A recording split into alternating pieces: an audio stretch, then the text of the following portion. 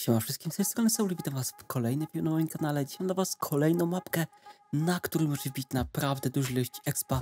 Więc jedyne co musicie zrobić, to po prostu dajemy sobie tutaj szukaj i wpisujemy kod wyspy, a kod wyspy jest to 6909 1495 1506. Dajemy sobie enter, wchodzimy na pierwszą mapkę po lewej, dajemy sobie wybierz. Pamiętajcie, żeby dać sobie tutaj grę prywatną. Jeżeli dajecie grę prywatną, dajemy sobie graj. Szybko wchodzimy do sklepu i wpisujemy kod Sauli. Jeżeli to zrobicie, naprawdę bardzo wam dziękuję. I teraz po prostu czekamy, aż was załaduje. Jeżeli was załadowało, skręcamy w prawo. Musimy sobie poszukać czyli, czyli będzie chyba tutaj z tyłu, więc idziemy tutaj, robimy dowolną emotkę, tu się pojawi przycisk, klikamy sobie na niego E i teraz czekamy, aż się tutaj załaduje. Jeżeli raz tutaj się skończy, to wpisujemy sobie kod 2422. Dajemy sobie confirm.